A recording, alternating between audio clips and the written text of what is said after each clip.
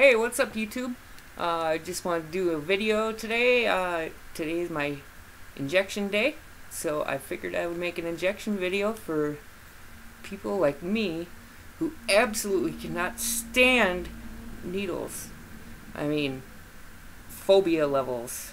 It took, I mean, my first injection was probably, took me two hours to do, so, um, I kind of came up with my own method. I searched YouTube and they've got the same old hold the skin tight and jab it in. And you know, that works too if you don't fear needles like I do. So, without further ado, I will go through some of the basics and uh, go from there. So, first off, you want to make sure your hands are clean. Wash them right before you do it. Also, you need alcohol. This is 91%. The higher alcohol content, the better. You need two cotton balls.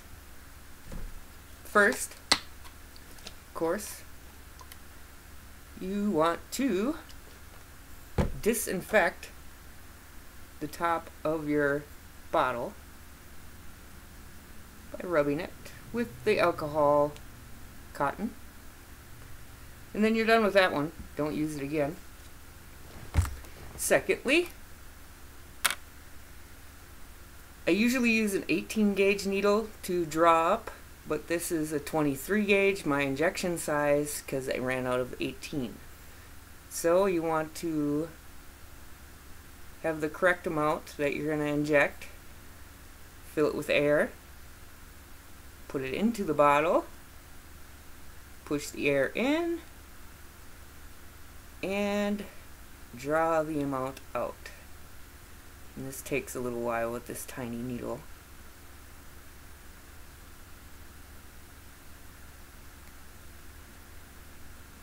I'll probably edit some of this out so you guys don't have to wait.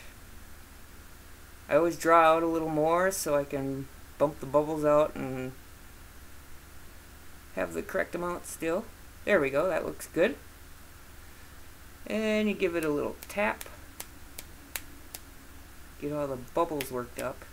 This stuff's pretty thick so it takes a little bit. That's looking pretty good. And since I drew it past the amount push it back in. And there we go. So that's done. Now you want to make sure you pull the estrogen out of the needle because we are going to throw this one away. Because even just pushing through the rubber on the top of the bottle it can dull your needle. So you want a sharp needle as sharp as possible. So we'll put a new needle on.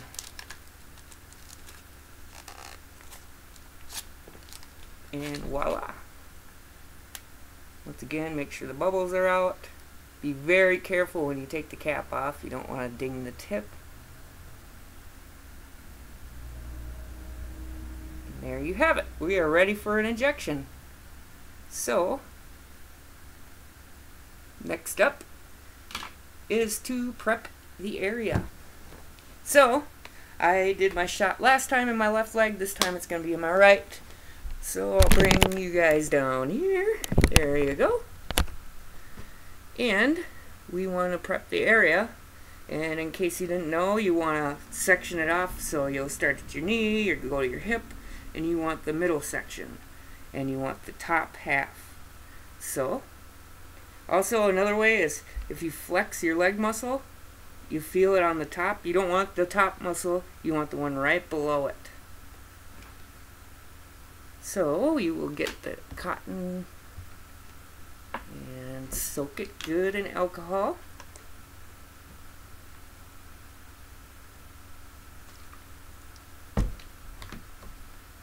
And you want to clean the area starting where you believe you will be doing the injection and going in a circle and working your way outward. Alright, then you want to let that dry. Takes a little bit. That stops being cold, then it's dry. Now, mostly when uh, they say, you know, hold the skin tight like this and just poke it right in and you're done. Which, yeah, there isn't much pain doing it that way, and if you can do it that way, excellent. But I am not one of those people. So, I had to come up with my own way, in which I talked with my doctor. He says that's fine. So, you want to make sure that you also check with your doctor if you have any doubts. So, here we go. Here's where I vary a little bit. They always say to hold it tight. I do it opposite. I'll pinch it, which actually pinches off the nerves in the area and makes it so you can't feel the needle poke. And instead of jabbing it in, I'll slowly push it in and you'll feel it pop through the skin, which is a freaky part for me. But just keep applying a little more pressure, a little more pressure, and soon it'll just go right in. I don't know how well you guys can see this, but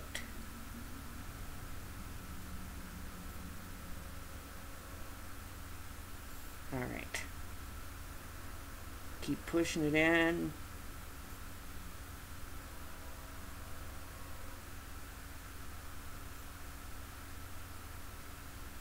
And there we go.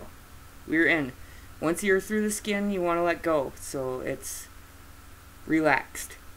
In this part, I use both hands so the needle doesn't move other than straight down. And I push it in very slowly which is how it differs from the standard way.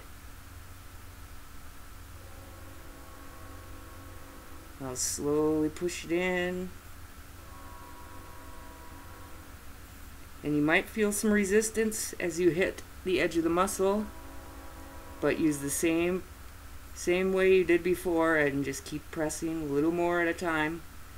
And by using both hands, it will wiggle and feel very, very weird.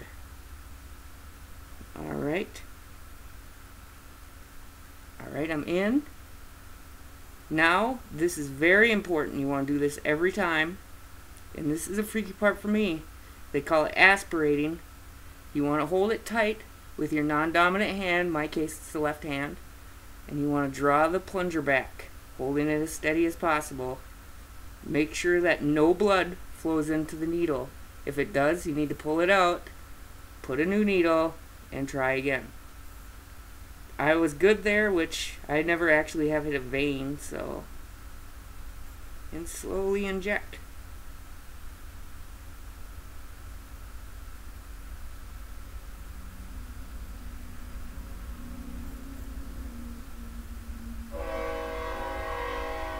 And I'm sorry if you hear the train going by. I live by train tracks.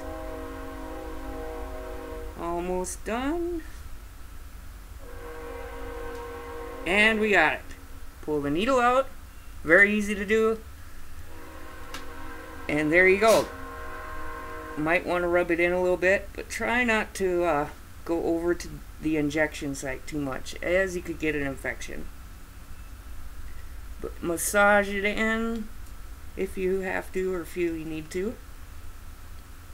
Very little blood. But if you do have some blood, just uh, cover it up, put a band-aid on. But th that's my alternate method. So I hope that helps somebody out. Uh, like I said, huge fear needles here, so I had to find a different way. And on YouTube there wasn't much. So, hope that helps you out. Until the next video, I'll see you. And uh, please like and subscribe if you enjoyed the video. And I would also like to welcome my new subscribers. Um, picked up quite a few with my transition video, which if you haven't seen, take a peek. It's my in my videos, the one right before this one. So, uh, thanks YouTube. See you next time.